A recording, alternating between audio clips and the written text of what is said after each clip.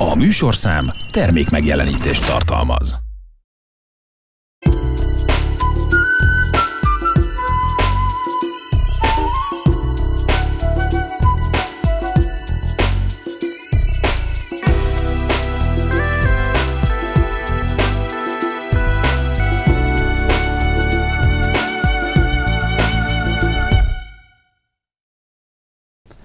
Szép estét kívánok, köszöntöm kulturális magazinunk a Paletta nézőit július 11-én 17 óra 20 perckor. Mai adásunkban először ellátogatunk a Prikulics táborba, majd egy nosztalgia est következik. Ezután megismerkedhetünk a horvát országgyűlés történetével, végül pedig egy Misztrál koncert történéseibe kukkanthatunk be. Tartsanak velünk!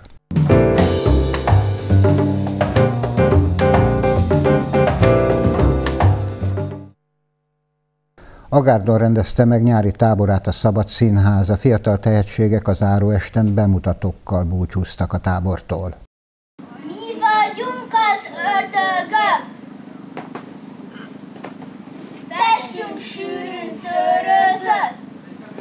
Ebben az esztendőben is közös táborozáson vehettek részt a Szabad Színház fiataljai.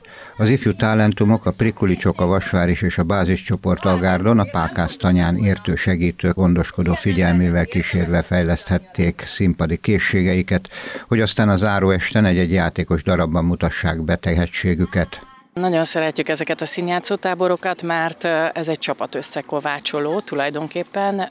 Most ilyenkor a kisebbek is találkoznak mindig a nagyobbakkal, és itt a Pákásztanyán vagyunk most. Egy kicsit rövidebb tábor, de nagyon intenzív volt, ezt lehet mondani.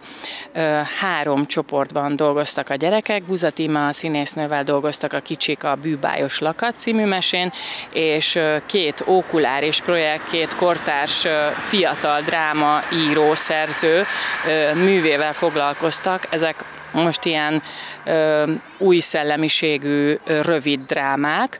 Amerikából indult ez a, ez a 15-20 perces időtartamú műfaj, drámai műfaj, és, és két ilyen kortás, rövid drámát dolgoztak fel az idősebbek, a Vasváris csoport és a Bázis csoport. Azt mondhatjuk, hogy ez tulajdonképpen előhang az új évadhoz? Igen, mert, mert én azt látom, hogy, hogy ezeknél a fiatal csoportoknál is lehet, hogy ez a, ezek a rövidebb darabok, ugye minden rövidül, még a szivarok is már rövidülnek, és Shakespeare-t sem három felvonásban játszunk.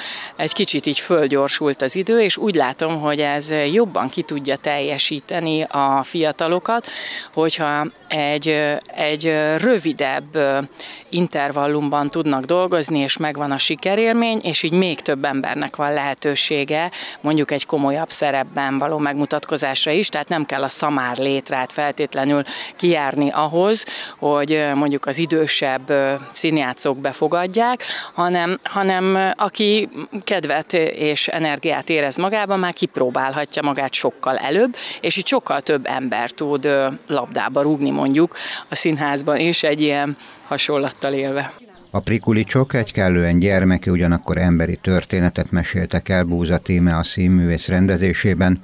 Nem lehet kétséges, a Bűbájos Lakat című mesejátékban szereplő töpörtyűk és nagyocskák játéka bizonyosan megerősítette a Szabad Színház jövőképét is. Egy ilyen ö, környezetben, és egy, most ö, ugye ránk tört a nyár, ilyen időpontban, ö, jól érezzék magukat a kicsik tehát ez az elsődleges ö, ö, szempont, ami előttem lebeg, és ezen túl menően, most ugyan egy kicsit rövidebb volt a táborunk, de ezen túl menően az, hogy valamit tanulni tanuljunk a kultúráról, a, magyar, a magyarságról, és, és ugye most is egy ilyen népmesei átdolgozást készítettünk, amit természetesen hagytam, hogy picit ők alakítgassanak rajta.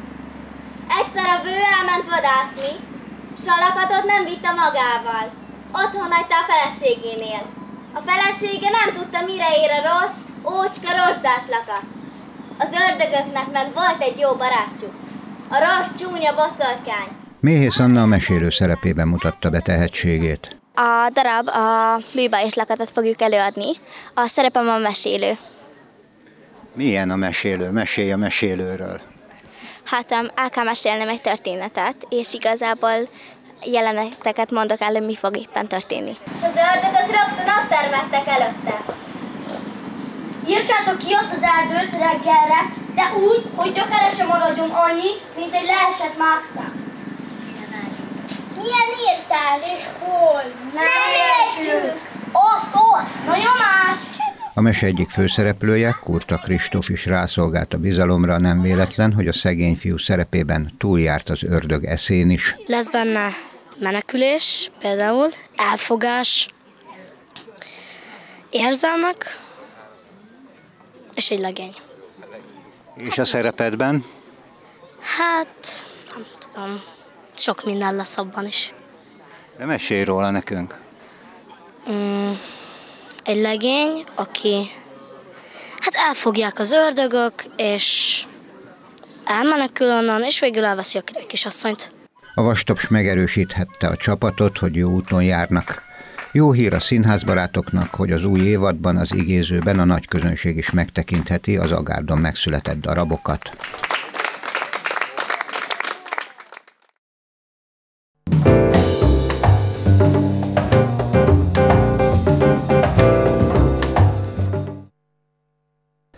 Szeretni bolondulásig címmel rendezett nosztalgia estet az Alba Régia Szimfonikus Zenekar és meghívott vendégei. A Bartók Béla téren a 60-as, 70-es évek legnépszerűbb dalai csendültek fel a jelen sztárjai tolmácsolásában.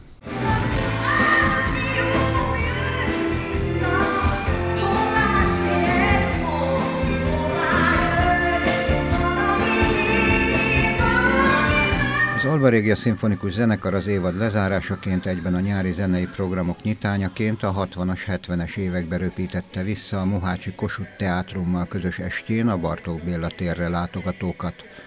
A korszak legendás előadói Máté Péter Szécsi Pál Zalatnai Sarolta Cserháti Zsuzsa és Kovács Kati slágerei eredeti nagyzenekari előadásban csendültek fel, nagyszerű előadókkal, csodálatos környezetben Székesfehérvár belvárosában abban bízom, hogy nem csak az én szívemhez állnak közel ezek a dalok, hanem, hanem a közönség szívéhez is. Ez mondjuk előre látható abból, hogy, hogy telt házunk van, nagyon-nagyon sok érdeklődő keresett minket az elmúlt időszakban, és, és azt gondolom, hogy csodálatos dalokat hallhatunk nagyszerű előadókkal. Az a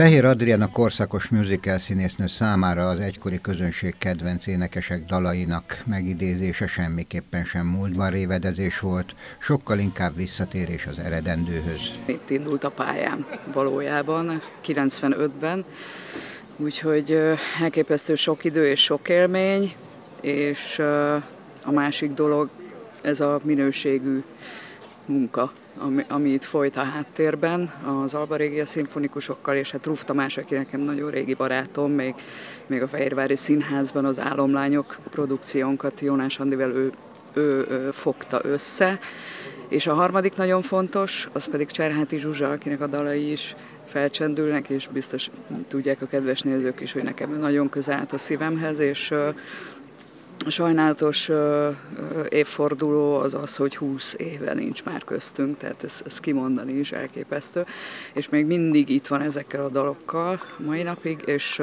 75 éves lenne most. És ezekben a napokban, úgyhogy ez egy, ez egy külön furcsa, furcsa élmény, de hát nagyon élvezzük a munkát most.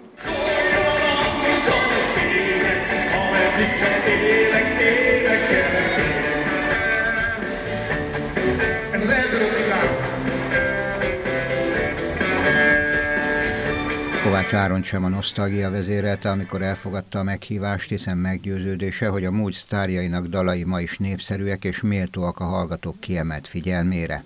Amikor a Székesfehérvári Alba Régia Szimfonikus Zenekar vezetője Ruf Tamás kért tőlem valamit, általában nagyon örömmel mondok igen, eddig még mindig olyat mondott, amit, ami mindig boldogsággal töltött el, úgyhogy remélem ez a jövőben is így marad.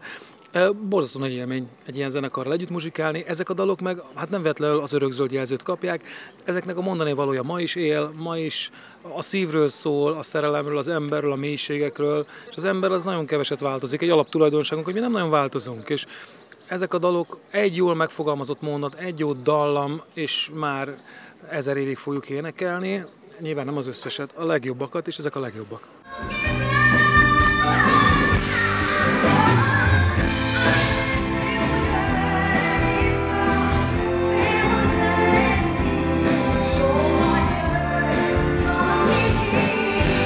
Jónás Andrea is elmondhatja, hogy otthonról hazajött, hiszen meg annyi sikeres produkció részese lehetett Székesfehérváron a Vörös Marti Színházban, amire mindmáig szívesen gondol vissza. Mindig nagyon nagy szeretettel jövök Székesfehérvárra, és nagyon nagy szeretettel dolgozom a Ruf Tamással, a Fehér Adriennel, a Szulák Andrával, Vastag Csabival, a Tomival, nem is tudom, a Kovács, tehát mindenkivel, aki, aki ma este itt énekelni fog, egy Hát egy család vagyunk, és akárhányan összejövünk, akkor mindig ugyanezt az érzést érzem, amit ma, és nagyon örülök, hogy meg tudjuk tartani. Ugye az esőnap miatt elmaradt az előadás, és hát óriási boldogsággal tölt el minket, amikor hazajövünk, és nagyon jól fogalmazott, hogy otthonról hazafelé. Itt nekünk ez mindig egy olyan bázis, ezt a, a közönség mindig vissza is igazolja, ami összetéveszthetetlen az otthoni élményekkel. Az est vendége volt Dolhai Attila is, aki a többiekhez hasonlóan kivételes lehetőségként élte meg a koncertet. Mint mondta, jó lett volna, ha a közönség soraiban tudhatná édesanyját és édesapját, akik számára nagy élmény lett volna a találkozás a régmúlt idők dalaival. A nagy örömömre szolgált ez a meghívás, hogy itt lehetek Székesfehérváron, hiszen ezzel a szimfonikus zenekarral már volt közös élményünk, de itt ebben a térben még nem léptem föl velük, úgyhogy ez egy szerintem nagyon szép estének ígérkezik, hiszen ragyogó az idő, és hát mivel tölthetnénk ezt az estét, estét el, mint hogy egy szép, andalító, nosztalgikus, de mégis egy kicsit szívünkhöz szóló daloknak a eléneklésével, előadásával. Aztán előadóként egyfajta kötelességünk is, hogy az elődünk, a nagy elődök által sikerre vitt nagy slágereket megőrizzük a jövő számára, és azt hiszem úgy van ez, hogy a szüleinktől megtanulunk dalokat, talán tőlünk is megtanulják a gyerekeink, és azt hiszem így élik túl a slágerek az évtizedeket és a, az előadókat, és válnak igazi, igazi kincsé, közkincsé, kulturális közkincsé.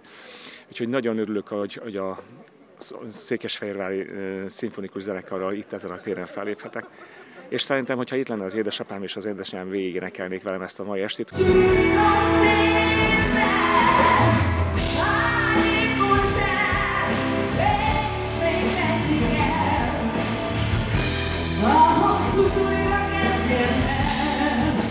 Az indítatás, hogy a szimfonikusok és a meghívott művészek szerettek volna egy olyan élményt adni a jelenlévőknek, amit magukkal vihetnek a nyár további részére, maradéktalanul teljesült, és ezt a nosztalgiást minden pillanata megerősítette.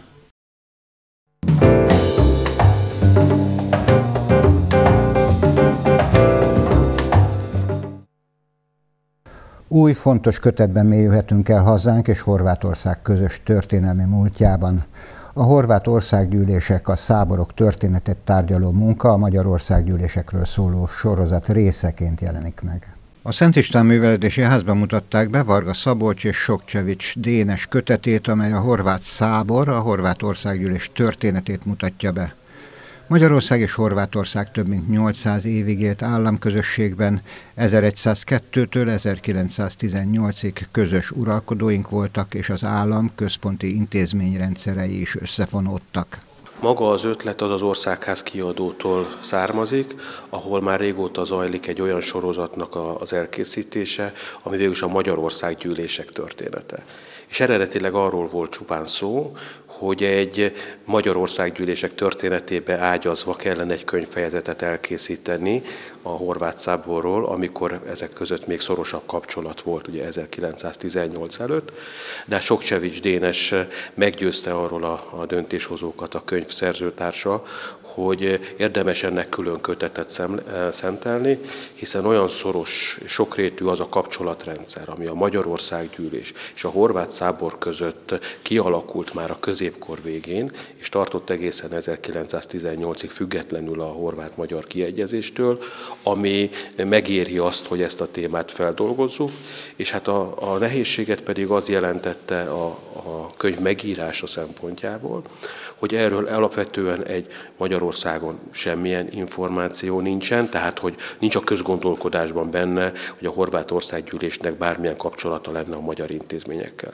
A másik pedig, hogy horvát oldalról, hiszen nekünk a horvát kollégák felé is azért meg kell felelni, tehát hogy olyan tudásanyagot kell közvetíteni ebben a kutatásban és ebben a könyvben, akik viszont nagyon más gondolnak a saját parlamentjük történetéről, ők sokkal szuverénebbnek és függetlenebbnek gondolták ezt, meg gondolják mind a mai napig a saját kutatásaik alapján, mint amit Dénessel közösen azt gondolom, hogy ebben a könyvben bizonyítottunk, hogy nem lehet eltekinteni a horvát és a magyar országgyűlések tényleg mindennapi eh, viszonyrendszerétől. Talán ez a könyvnek a legnagyobb újdonsága. Az országgyűlési jelenlétből fakadóan a magyar diétákon hozott törvények általában Horvátország területén is érvényesek voltak, de egyes esetekben a horvát szábor a magyar törvényektől eltérő jogszabályokat alkotott, amelyek közül több királyi szentesítést is kapott. A kötetben nekem jutott az a rész, azok a hát nem évszázadok, de mindesetre 1780-tól 1918-ig terjedő időszak,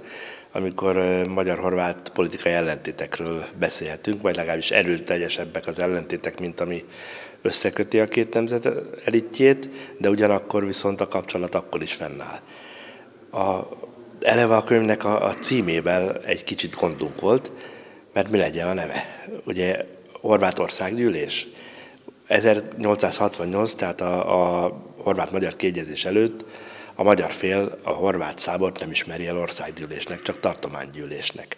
A horvátok szemében viszont a, a koraújkortól kezdve, tehát amikor egyesül 1558-ban a szlavon és a horvát dalmát szábor, attól kezdve egyre inkább ők magukat szuverénebbnek tekintik, és ezért nem tartománygyűlésnek, hanem országgyűlésnek tekintik a saját gyűlésüket. Nos, ez eleve egy, egy problematikus pont a, a könyvben, úgyhogy végül kompromisszumos megoldásként választottuk a horvát szábor története címet, mert az semleges, magyarul.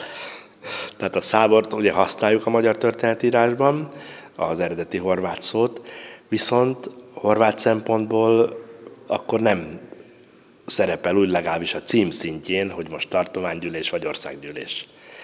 Ez az egész horvát nemzeti integráció, tehát az egész horvát identitás tudat kialakulása szempontjából is fontos, hiszen ugye Horvátországnak eredetileg azt a területet nevezük, ami a, a Dinári hegységtől, a Kapela hegységtől délre fekszik.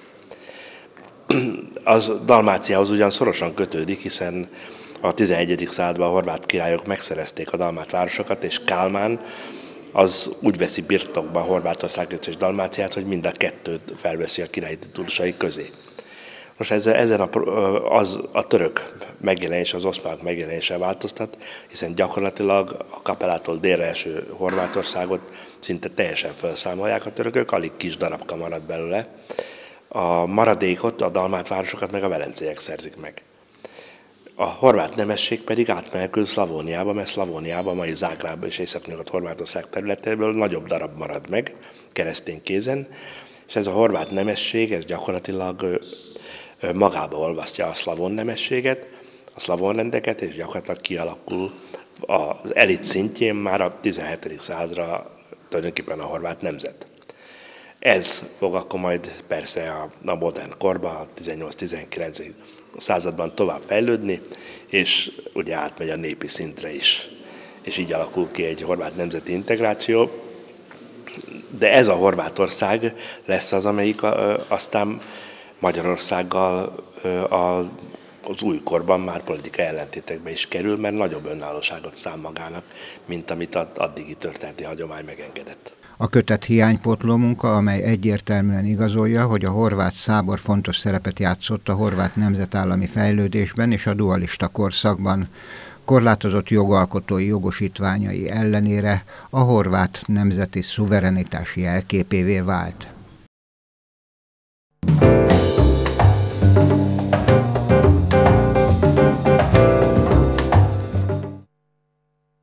Ünnepi Misztrálestel köszöntötték a 600. hétvezérest találkozót, az Icsiligeti Zenepavilon vendége a Misztrál együttes volt. 2009-ben indították útjára Székesfehérváron a hétvezérestéket. Az akkor még országos mozgalom részeként megalakult Magyarok Szövetsége Fehérvár megyei szervezete egy év után, mint Fehér Szövetség folytatta heti rendszerességgel közéleti, kulturális és közművelődési előadás sorozatát. A hétvezérest 600. előadásának vendége a Misztrál együttes volt. 2009-ben, tehát 14 éve indítottuk a hétvezérestéket, Székesfehérvár Huba utca 7 alatt, 7 órakor, kedden és hát elértük a 600-at, és mi minden századikat egy ünnepként éljük meg, hiszen életképes kulturális közművelődési közéleti eseményt hoztunk létre. Igaz, a hétvezér sörkert azóta bevált, vagy bezárt, viszont a hétvezér est az bevált, és működik azóta is. Nagyon fontos a sokszínűség, az a magyarság tudat, mindaz, amit azt hiszem a 21. században közvetíteni kell ennek tükrében szerveztétek meg az esteket. Ki mindenki járt itt, tehát milyen jellegű találkozók voltak ezek? Hát az elején saját magunk közül választottunk előadókat, aztán később kezdtünk el meghívni nevesebb embereket. Hát itt, amikor van egy friss könyvbemutató, és ez a Magyar Nemzeti Öntudattal kapcsolatos könyv, akkor annak az előadóját, vagy szerzőjét általában meghívjuk. Hát most hirtelen így föl kellene idéznem, akkor Bunyevás Zsuzsától kezdve Pap Gáborig, Szántai Lajosig, vagy ha most arra gondolok, hogy rövidesen Horváth Lugosi is vendégünk lesz, tehát gyakorlatilag a legismertebbektől a legismeretlenebbekig, de akik valamit letettek az asztalra és a közművelődést és a hazaszeretetet ápolták, azokat hívjuk meg. Hogy került szóba a Mistrál? Hát a Mistrál ugyanaz a lélek, magyar lélek zenében.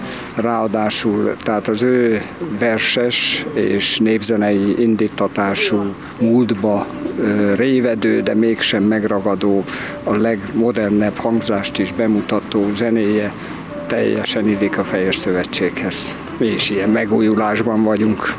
A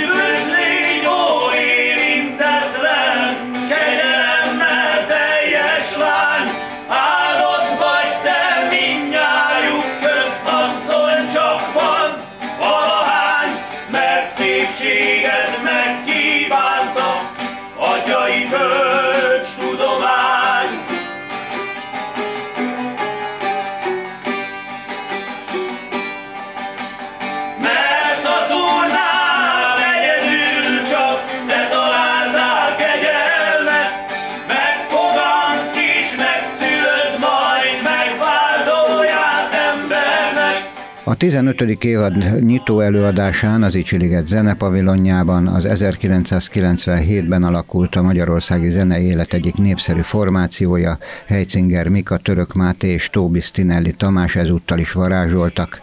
Repertoárjukon megzenésített versekkel és népdalfeldolgozásokkal köszöntötték az ünneplőket. Alapvetően azok a versek, amiket mi választunk, ott a, azok az állandó értékek, vannak jelen, amit ma is fontosnak érzünk, és azt gondolom, hogy bőven van átfedés a, az értékrendek között, mert ugyanoda nézünk, tehát a gondviselésbe bízva, ide születve magyarként, a magyar anyanyelvet ápolva és őrizve és továbbadva tanítjuk és, és együtt éljük meg magyarságunkat.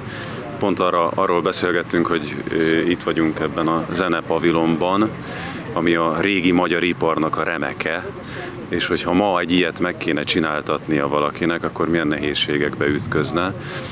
És hát a, pont az elmúlt napokban meg arról beszélgettünk barátokkal, hogy, hogy a ma nagyon divatos mesterséges intelligencia az hova fog vezetni, és hát ki fognak halni szakmák nagy eséllyel, nem csak emiatt, de ugyanúgy, ahogy kihaltak azok a mesterek, akik meg tudták ezt alkotni, és és ma már mondjuk egy vésnököt is nagyon nehéz találni, nem hogy egy, egy tödét.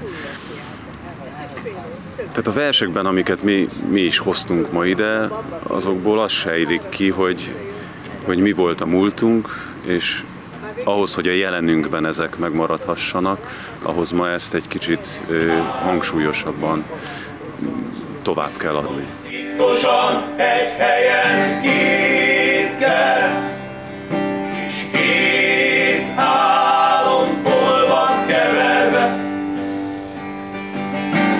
mint egy lemezen, két fénykép, vagy két hang egyszerre leverve. Mintha külön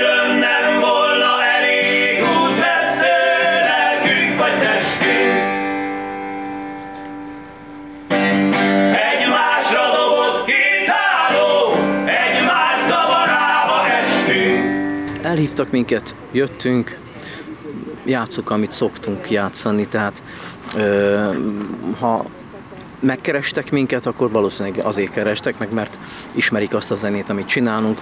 Mi verseket zenésítünk, ö, minden, mindenféle politikától mentesen ö, tesszük mindezt, és ö, egyszerűen költők verseit adjuk elő zenében, énekkel. Jézus lesz a neve néki, ki üdvözít népeket.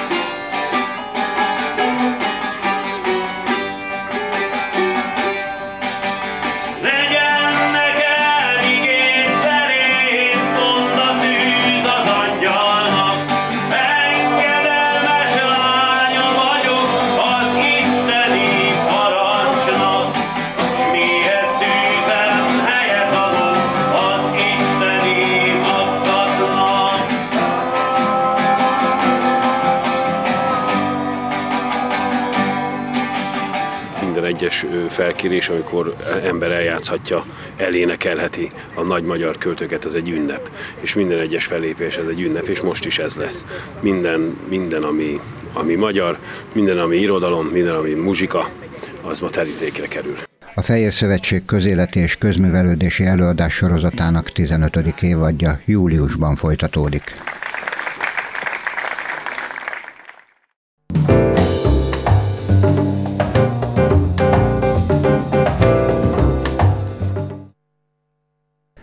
Kedves nézőink, köszönöm megtisztelő figyelmüket, viszontlátásra a jövő héten.